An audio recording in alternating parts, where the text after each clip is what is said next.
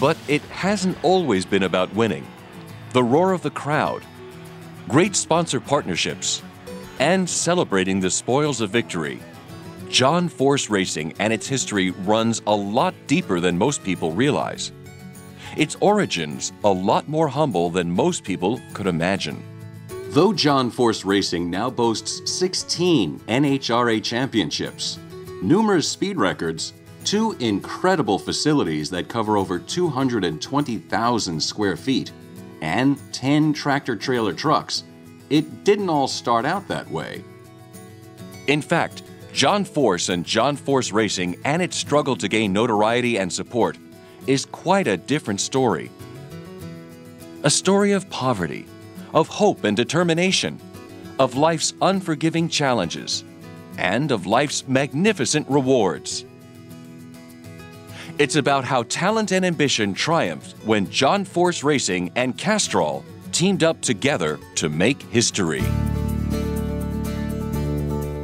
We were poor. Our entire regimen for a week at a time was beans and potatoes. I mean, we were poor. Okay, uh, to think that that all that's happened up till today could have possibly happened wasn't something that we even dreamed about. Well, John was the youngest of five. So when I remember him, my first memories of when he was a toddler. And back in those days, we were quite poor and we worked in the fields of Southern California picking crops. And uh, one of the jobs I remember we had was picking strawberries, and those strawberry rows went on forever. And John was just a toddler, so my mom, my dad, and myself, and my other brothers, we would, we would work in the fields. But John being the baby, he would have to go out with us because there was no one else to watch him. And so what my mom would do is she would tie a rock to him on a short uh, rope, and that way he couldn't wander off. He basically played in the dirt all day long. John being the sickly one, I, I, I took care of him. We were so poor that we couldn't live in a town. We lived out in the woods, so consequently we had no friends. And the only friends we had was each other. Okay, so John and I grew a bond. Uh, from their very early years, John had a lot of tenacity and a lot of self-confidence, even when he was only nine or 10 years old. You could see it in how he challenged life and he took on projects and did things.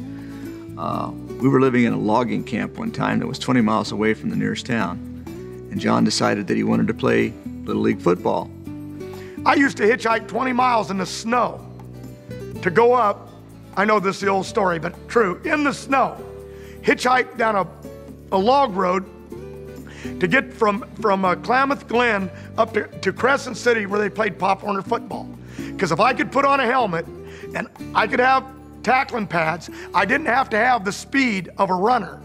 I could just be tough and hit people head on, things they didn't do in flag football because they don't tackle in flag football. Okay, the point is, I found that the cheer of the crowd, the football helmet, and even though I was handicapped, that I could do something. And that was my dream was to be a football player. But I realized being a pro was never going to happen. So what was the next thing where I could wear a helmet and have the cheer of the crowd? It was never about money. I could get in a race car because a race car did the running for me. And I become one of the greatest of all time.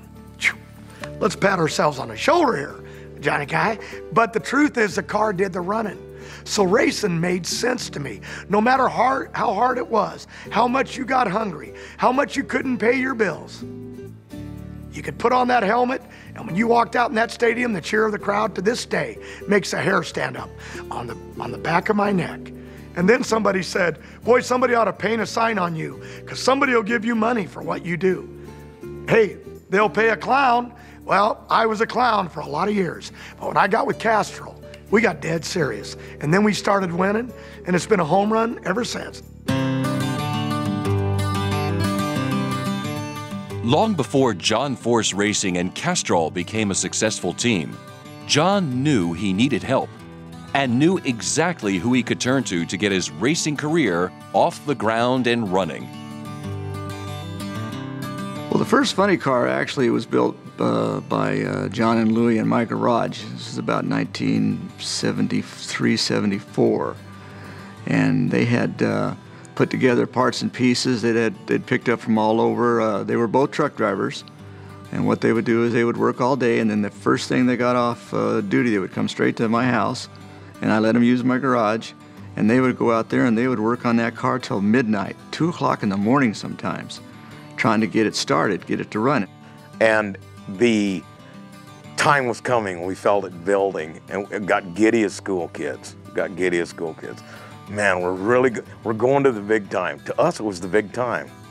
We never thought about the guys that were running world speed limits and and had sponsors and big fancy rigs. But I'll never forget uh, the week before going to, to Orange County. We were going to Orange County, Orange County. It's like ice cream, ice cream. You know what I mean? And it was. It was. It, it sounds childish now, but it was our world, and that's all we knew. We didn't go to the movies then. We didn't go to baseball games. We didn't play football. You know, we didn't go to church on Sunday. We went and worked on our race car, and it was our whole world, and it was all we had. And uh, I was not. I, I was of the mindset that I was not going to quit. And John, you, you couldn't even say that to him. What are you crazy? You're joking. Let's go. Him down that racetrack at, at, uh, at Orange County, and I'll never forget it. I was in the back of the pickup truck, and John, the, the engine exploded, and John made a turn off of the racetrack in the dark. There were a few lights, and I was so scared. This is a true story.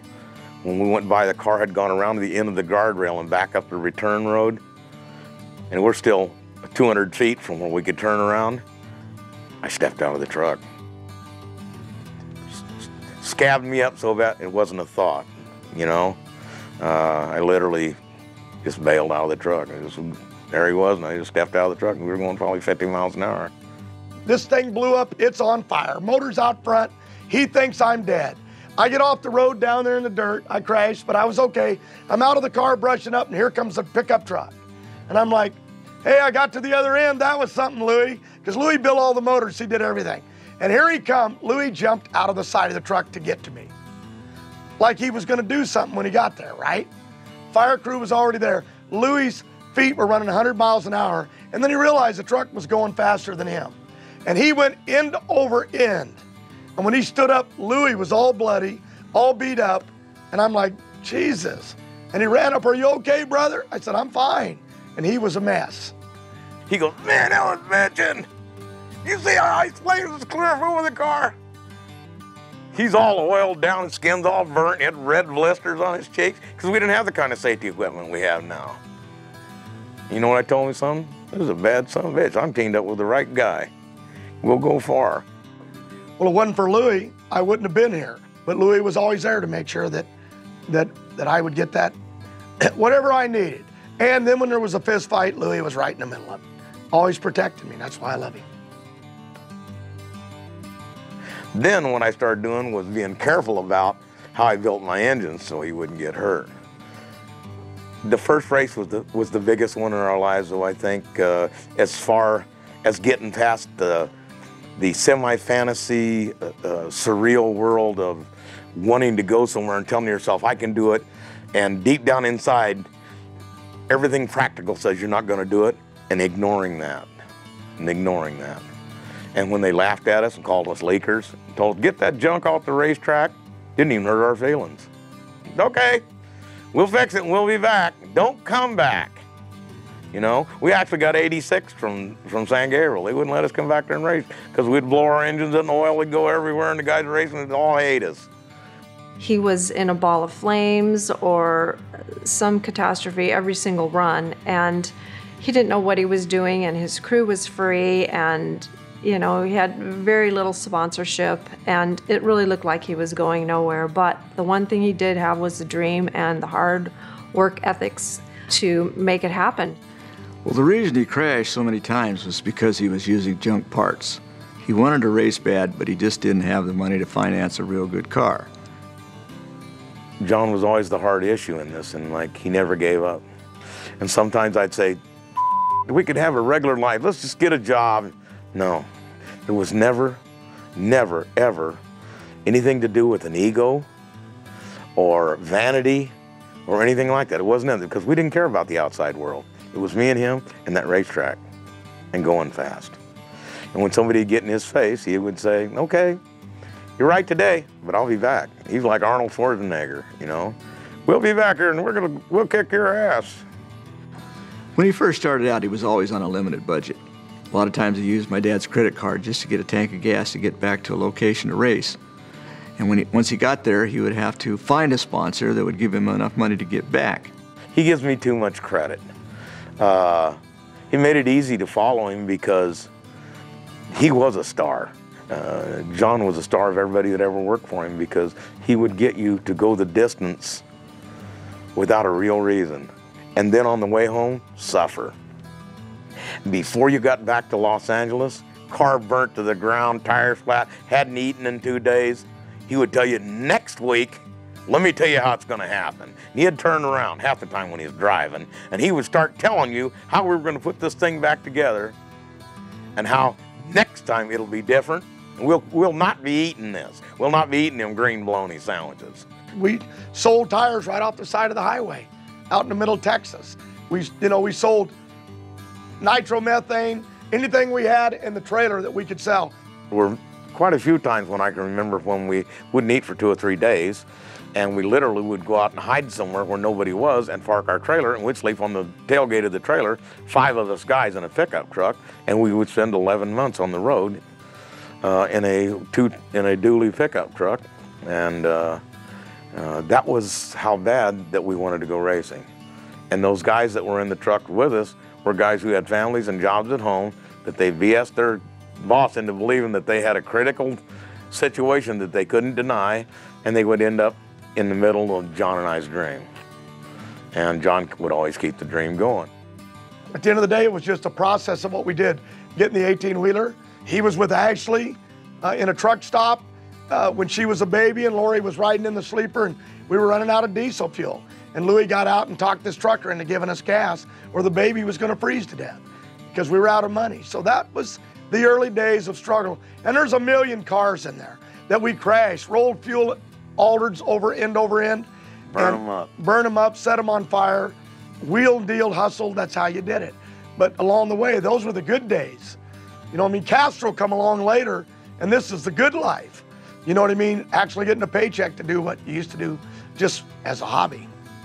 I told him I thought it was foolish and I thought he was going to kill himself doing this because he was so bad. And for the first couple of years, he was probably the worst car out there on the circuit. He was absolutely horrible. and his team, like I was a team member, what do I know about race cars? He had me packing parachutes.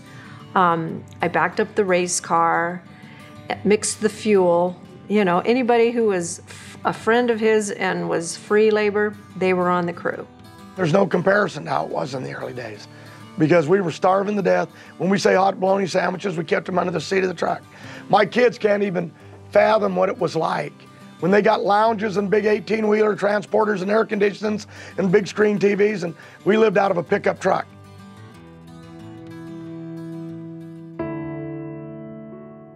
His personality really connects with the consumer.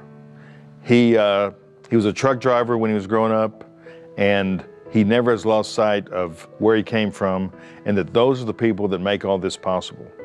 I, I always compare it to, to his choice of foods. We have a gourmet chef that travels with us now, and, and he cooks meals that you would get in, a, in an upscale restaurant.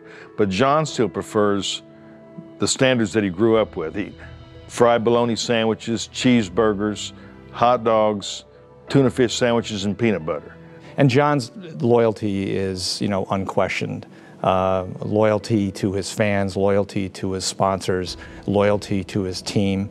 Um, I think you know that loyalty factor is something I think that that also will stand out from a standpoint of fans, sponsors. Everyone is aligned that uh, you know he is uh, quite a representative to have as a sponsorship partner. People say, "Why do you love the fans?" The fans used to feed us. Where the fans would come to the ropes to the other race teams, stuff. they were famous racers. They were winning.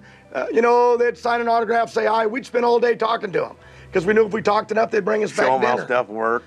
oh yeah, it's it's Won the people over right ju- away. just being did. part of that deal with them.